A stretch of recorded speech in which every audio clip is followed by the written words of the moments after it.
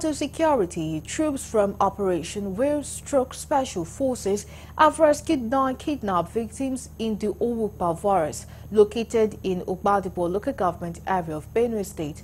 The victims were abducted in a commercial vehicle along the Otukpa Enugu Highway on January 11, 2024, and were rescued in a joint operation involving the Nigerian Police Force and Benue State Community Volunteer Guard.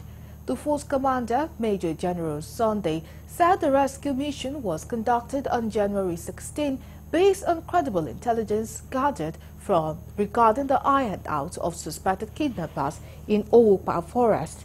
The general further stated that nine passengers, eight females and one male passenger was rescued from the suspected kidnappers, adding that two suspected kidnappers were apprehended and items included were one AK-47 rifle and 10 mobile phones.